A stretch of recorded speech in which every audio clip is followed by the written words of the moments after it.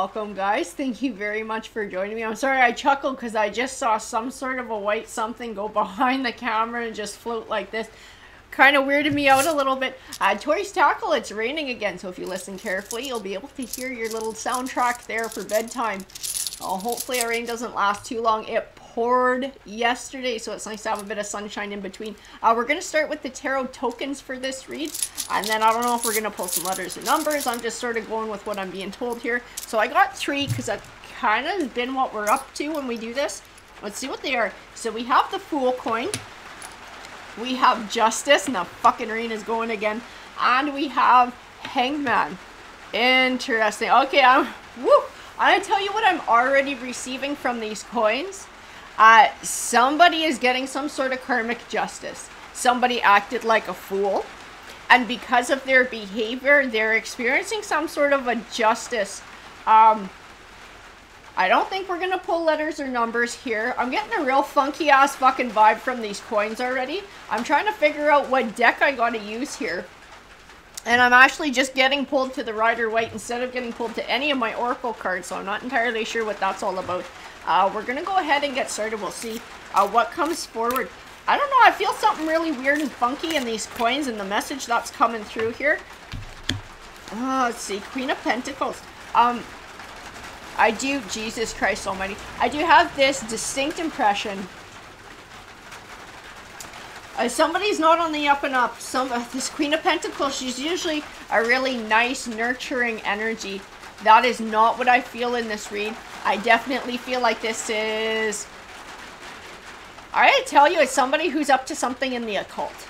That's so weird. I have never... Guys, I've never gotten that vibe from the Queen of Pentacles before. If you look up whatever meaning goes along with it, you're not going to find that either. I just always trust my intuition and what my spirit guides are telling me about what a card means. This person's up to something they shouldn't be. Is that fucking hail? You've got to be kidding me. That is not a coincidence, guys, that I'm fucking seeing shit flying behind the camera. We're having this kind of a message come out. And now it's like pounding fucking rain or hail on the roof of my greenhouse. Not by accident. We have the moon card and the death card. This person is, okay, you can fucking let up now, please and thank you. This person's up to no good. This person is using the occult for wrong things. I don't know if they're just using tarot or they're trying to do some sort of like dark magic or black magic or like death spells or whatever kind of stupid shit they're trying to do. Uh, they're creating a whole lot of hurt for themselves. Um, I just see like really dark, like black energy swirling around whoever this person is. This is not Page of Pentacles. They've made some sort of an offering to something to be able to have, I don't, like I said, I don't know, it's some sort of a payoff. It's like if they're trying to, I do feel like they're trying to harm other people with this. So it's like their thinking is, if I make an offering to whatever this entity is or this thing or whatever, that it will do my bidding. They don't realize there's a higher cost than what they're offering. And by following through with whatever it is they're doing, they're agreeing to pay that cost. Unknowingly agreeing to pay that cost, and they will pay dearly. We have the Two of Pentacles here, and the Queen of Swords too. Uh, they're trying to send it to the Queen of Swords. That's who they're trying to send it to. Uh, but this Queen of Swords, I see a lot of light around her. Uh, I see that whatever this darkness is, it can't touch her. I don't know if she's very spiritually gifted or very spiritually protected or both or whatever it is or she's sort of is aware of darker energies and she knows how to sort of do that like return to sender kind of thing and cleansing her home and cleansing her space. I see that she sent it back with this two of pentacles. She's like sent it back on where it's supposed to go. She sent it back on where it's coming from. It is this queen of pentacles. I'm trying to get a beat on what why this person is after this queen of swords. Uh, i'm being told the word greed uh, envy, jealousy. This Queen of Swords is finding some sort of level of success in her life that this Queen of Pentacles is very jealous of. Uh, instead of this Queen of Pentacles going, hey, you know what? I'd like to have that kind of thing in my life, so I'm going to get off my fucking duff and I'm going to work hard to achieve it.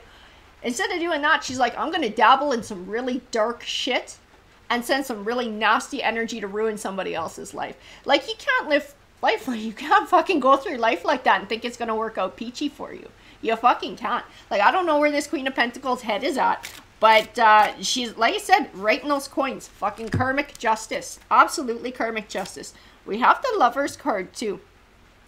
That is really interesting. Uh, I'm going to pull some more to see exactly where that fits. Uh, it might just represent a Gemini. And this Queen of Swords might be a Gemini. Because swords can represent an air sign. Because I don't get a romantic vibe here at all. So I don't feel like it speaks to romance. Uh, we do have the Nine of Wands. Oh my god, even in that Nine of Wands. Even in that Nine of Wands, I see the Queen of Pentacles energy. But I see it like looking at what other people have and super envious. Envious. I don't know if this person has had struggles in their life or they've looked at other people who have been prosperous in their life and so they kind of have like this I don't want to say like a feeling of like the world owes them kind of thing but like tired of seeing other people around them be prosperous um and feeling for whatever reason like they can't do it themselves. Sorry, I'm having a hard time talking too. I know this is this fucking Queen of Pentacles who's been messing with my shit. And, but I'm saying it anyways. She can she can kiss my ass. I'm saying it in this read. I'm gonna still read these cards. I'll just cleanse afterwards. Uh, we do have the Three of Swords here too. I think this is somebody who's probably had a lot of heartbreak in their life.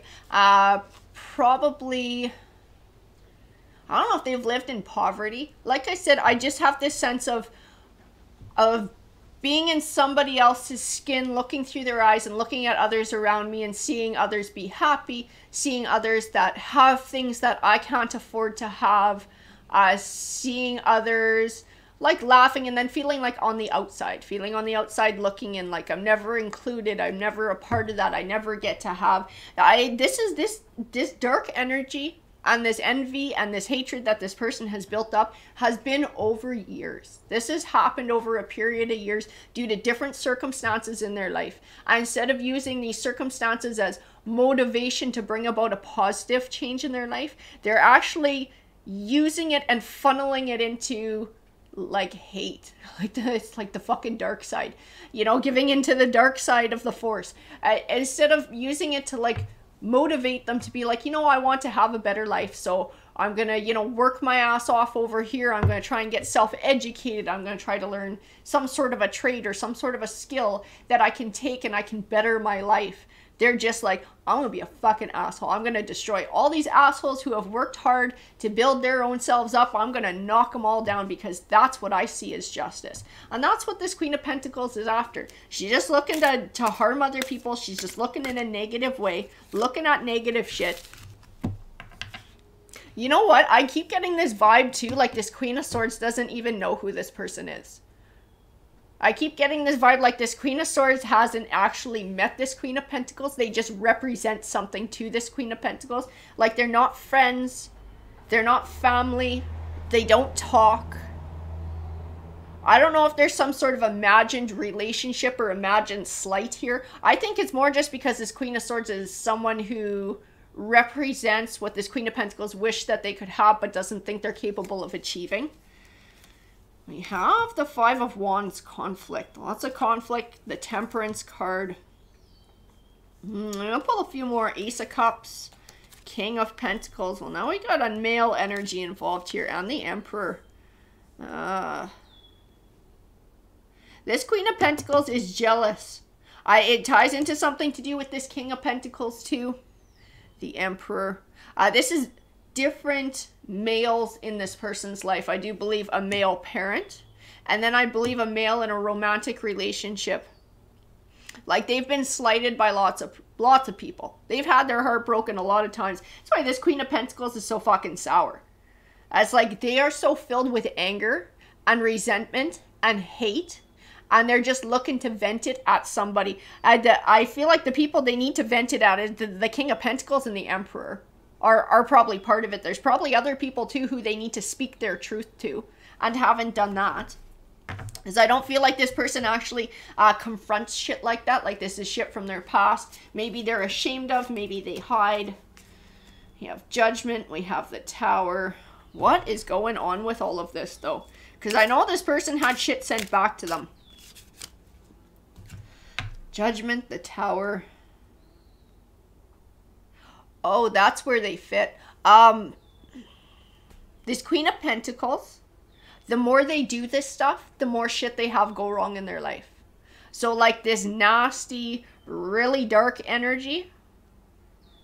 Because this is, I think this started as just being angry. This probably started as just gossip and rumors and being real petty and shit before it moved into this occult crap. I feel like, you know, that petty stuff probably caused them to not have a lot of friends because nobody really trusted them and kind of isolated them, which made them more bitter. And it sort of is like a vicious cycle, right? That just drove them forward and forward that eventually landed here. But this shit is a lot bigger. It's a lot more negative. It's things that a lot of people don't truly understand. This person does not understand what they're dabbling with. They don't understand who they're making a pact with or what they're making a pact with and what they're agreeing to pay as an actual price. I don't think they really get the gravity of what they're doing. Uh, this Queen of Swords is somebody who's protected, is somebody spiritual. It is somebody who has a bit of a sniff as to kind of what's going on. And I do feel like this person was able to just send whatever back. Uh, I think it's causing big towers in this Queen of Pentacles life. If it if it hasn't already, it's building up to it. This person has big losses coming in their life, this Queen of Pentacles. Extremely big losses. Because of that, I see that in the Tower card. I see it in the Judgment card. It is like karmic justice. It is the universe making a judgment call here, dishing out dishing out justice, like putting the scales back into balance, balancing them back out. Three Mm, gonna grab a few more. You know what? Oh, that's really creepy. Uh, this Three of Cups, I don't, a lot of times I don't get a negative vibe from it. It represents happiness, celebration, whatever. I get pulled back to this Queen of Pentacles. And I feel like they're part of a group. I feel like they're part of a little group uh, studying. I don't know if they're studying this dark shit and studying it like it's a craft. I like this dark magic this is not going to end well for any of them. This is not going to end well for any of them. Any of the shit they're sending out, it's coming back. This Queen of Pentacles has already experienced it. I, I, I don't know if the other people they're participating with this, participating in with this thing, if they're experiencing towers in their lives too. Because I just feel everything's coming back into balance and it's based on choices that everybody made.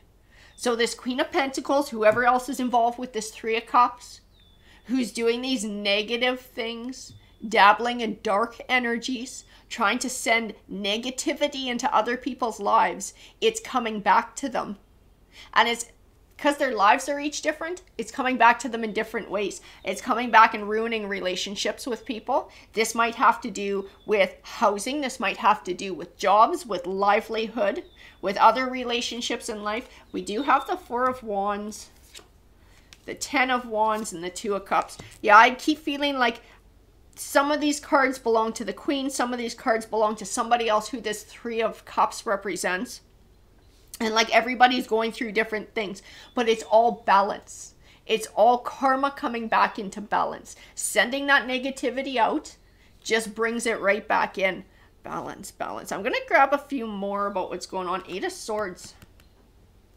That Eight of Swords. Uh, she's not sleeping. Whoever this Queen of Pentacles is, she isn't sleeping. I don't know if she's having nightmares. Uh, but she is... She is not at peace in her own home wherever she lives. Because I think this shit came back at her. Uh, and I don't know what it was that she made a deal with. That she tried to sic on somebody else. But it was something very nasty and now it's back and it's tormenting her. It is tormenting her. It's pushing other people away from her. You know what? I think she got kicked out of her little groupie too. And that's why I'm getting more about her than I'm getting about them. I think they all turned on her. Ah, two of wands. Queen of wands. Two of wands.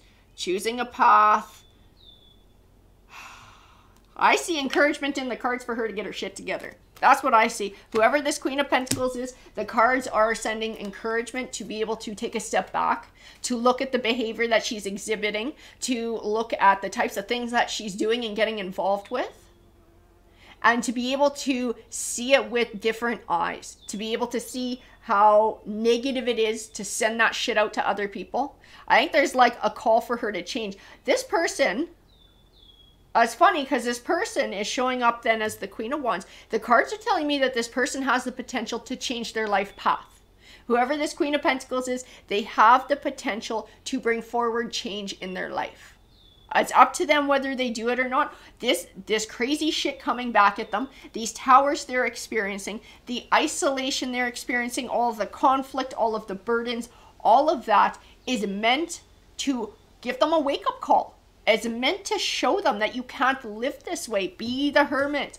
Shine that light on those dark places within. Shine that light on your own behavior and being able to to see you are just doing more harm than good and that it is all coming back your way. I'm going to grab a few more here. Because I want to know more about what's going on. We do have the Sun card here too. Ah, and the Nine of Pentacles, the Three of Wands. All these cards tell me that this Queen of Pentacles, it's like, it's total free will, guys. And it's coming out in a lot of my, like all my reads today. Free will, free will, free will. So you're probably fucking sick of hearing it. But I got to tell you what the tarot cards are saying. They're saying that whoever this Queen of Pentacles is, it's up to her whether she's going to be the Nine of Pentacles or whether she's going to be this Tower. Eh, you know, it's up to her which way her life goes. She can have she can have positivity, she can have that that sense of leadership and being this strong figure and coming into her own if she moves with honesty and integrity in life. She can have this Nine of Pentacles feeling she is capable of building herself up. I actually see in the card she's not an idiot. Like, this person's not stupid. This person can make a go of things for themselves. They can better their life. They are absolutely capable of doing it. But they have to find their way out of the Eight of Swords first and that's a mind trap. That's all, everything that goes on in our mind, everything that goes on in our subconscious, being able to do your shadow work, being able to confront those dark things, and, and being able to look at those real raw truths about ourselves. This person hasn't done it up until now. They've just been acting out against other people, taking it out on other people, instead of looking within to find the answers, and then being able to rely on themselves, to pick themselves up to build on their own, to trust in their own ability, to be able to obtain the things that they want in life, to be able to obtain blessings.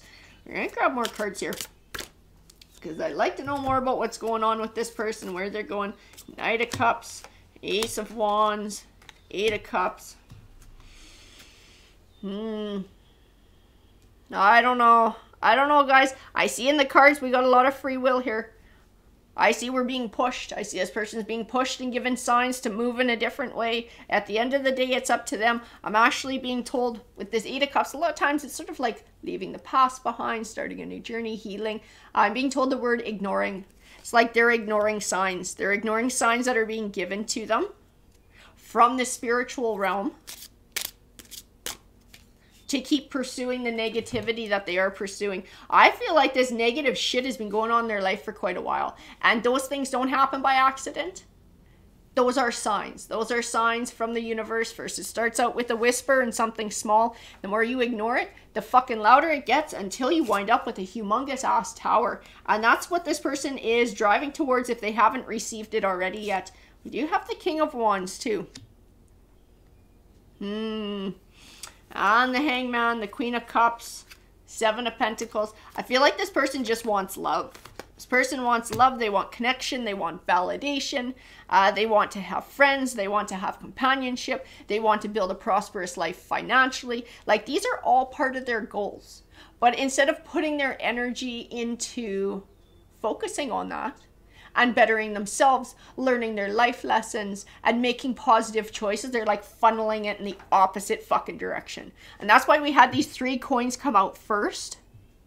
It's like they were a fool. They were a fool to act out in this way. They are causing their own towers. They are bringing about their own negativity in life. This person who they targeted was a lot more higher vibrational spiritually and so was able to block this and send it back. And I, like I said, I, I keep getting the word nightmare. So I feel like this Queen of Pentacles has put herself in a really bad spot. Now she's got this shit that's sort of lurking around her too. It doesn't mean she can't find a way to heal it if she reaches out to some sort of a spiritual leader try and help her to undo what she did because I don't feel like it's permanent. I don't feel like it's set in stone, but I feel like this thing is going to torment her and hover around her until she decides to make positive changes in her life. And it has to be consistent positive changes to be able to not just push this thing away, but then to create a boundary where it is no longer has a chance to come into her life. Because as soon as she's slipping into this negative shit, it sends those vibes out and it opens a door for the shit to come back in. So she has to make uh, a very firm and permanent change in her life if she wants to be relieved of all these towers, of this Eight of Swords, of this spiritual negativity and this heavy ass energy that is circling around her. Like I said, it's like a black swirl that just keeps going around and around and around her. And it's because of what she's creating. It's because of those dark emotions that she's allowing to rule her choices and rule her life. I just keep seeing free will. Free will. She has the power to change the situation. She has the power to change the direction that her life is going in, but it is entirely up to her which drives this. So I don't know who this Queen of Swords is. You know, if this is somebody who's a little bit worried about, you know, a Queen of Pentacles sending shit their way, uh, I wouldn't be because it's uh, I for all I can feel from that card, that Queen of Swords is like light. It's just light. So this person has been able to protect themselves, to be able to send whatever back. This person is protected. This person is not being harmed by what the Queen of Pentacles is doing. The Queen of Pentacles is just making harm for themselves. Whoever she is, guys. Alrighty, I hope that you enjoyed that read, and I hope you guys have an absolutely great rest of your day. I am going to go sage everything now. Take care, guys.